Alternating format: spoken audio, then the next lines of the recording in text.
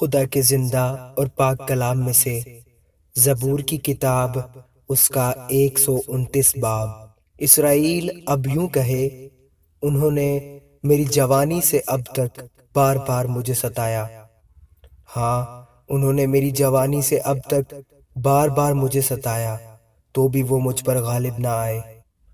حلواہوں نے میری پیٹھ پر ہل چلائے اور لمبی لمبی ریگاریاں بنائیں۔ خداون صادق ہے۔ اس نے شریروں کی رسیاں کاٹ ڈالی۔ سیون سے نفرت رکھنے والے سب شرمندہ اور پسپا ہو وہ چھت پر کی گھاس کی مانند ہو، جو بڑھنے سے پہلے ہی سوکھ جاتی ہے، جس سے فصل کاٹنے والے اپنی مٹھی کو اور پولے باندھنے والا اپنے دامن کو نہیں بھرتا۔